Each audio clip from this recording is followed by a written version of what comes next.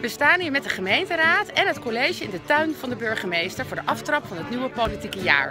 En het wordt een heel spannend jaar met gemeenteraadsverkiezingen in maart, maar ook mooie dossiers zoals het theater en ook bijvoorbeeld ook het zwembad in het najaar. En dan is het ontzettend goed en leuk om zo informeel met alle politieke partijen het nieuwe jaar af te trappen.